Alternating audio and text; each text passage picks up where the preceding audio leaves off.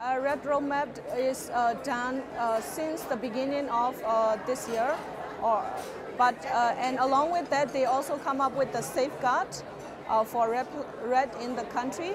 And only in REDD we start talking about UN UNDRIP and Indigenous People Rights as well as FPIC for Indigenous community.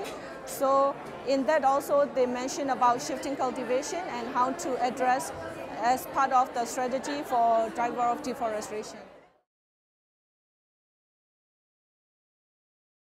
I think uh, there is little awareness among the community on REDD programs. So when they, although they are sometimes invited for um, consultation and discussion, if they don't have the background full understanding fully, then they cannot uh, give uh, a proper um, comment on things like that.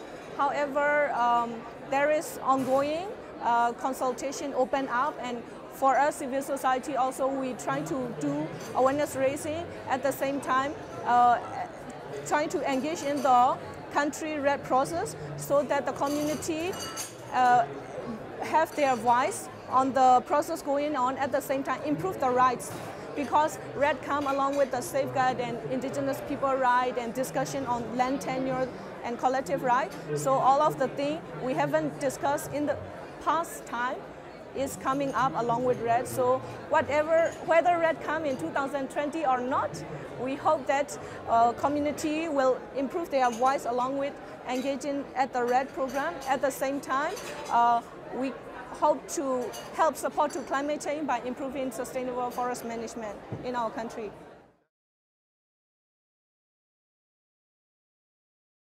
Shifting cultivation is mainly practiced by the indigenous community in Myanmar and also uh, the, for them there, is no legal protection for asset to land and uh, they have uh, also pressure on land grabbing and illegal logging coming into the area. That's why uh, finally they end up like uh, reducing fallow period, which is also again seen as the driver of deforestation uh, with their practices. However, they also face the climate change impact and they're trying to um, respond to with their uh, way and knowledge and uh, with their lifestyle.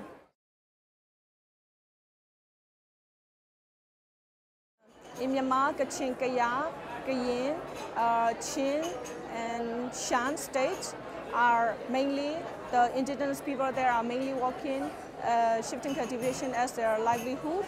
And uh, two, actually in the past is around two-tenths of the population, now reduced to one-tenth due to limited access of land and a lot of migration and other social factor. Uh, however, um, uh, is 22.8% uh, of the land area of the country is still uh, practicing shifting cultivation for their main livelihood.